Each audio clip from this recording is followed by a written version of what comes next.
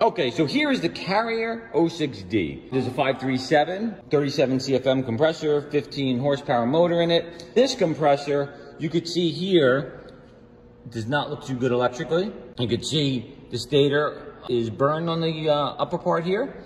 The banding has been broken. Let's take a look at the cylinders. You can see it's black from the compressor motor burnout, but there's no broken valves. The cylinders aren't destroyed.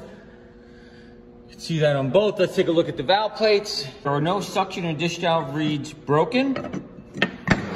You can see on both sides, none of them are broken. If you go to turn it, it is tight, but it does turn, but it's it's not spinning the way it should. It is spinning crunchy. Let us know your thoughts of what you think was the cause of failure on this.